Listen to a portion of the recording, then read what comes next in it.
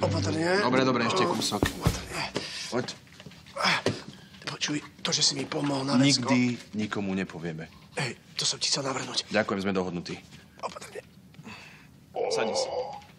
Dobre, dobre, dobre, počkaj, skúsim ťa chytiť inak. Nie, to je v pohode, to je v Prestan pohode. tu hrať hrdinu, vidím, ako trpíš. Á, Ó, ó, počkej. Dobre, počkaj. Nohu, nohu. A človek by si pomyslel, že medzi sebou niečo máte. Au! Ty, čo tu robíš? A chcela som vidieť, ako sa máš. A počula som, že je tu Kryšo. No, jo. Musíme sa porozprávať. O čom? Vieš o čom? Nie, neviem.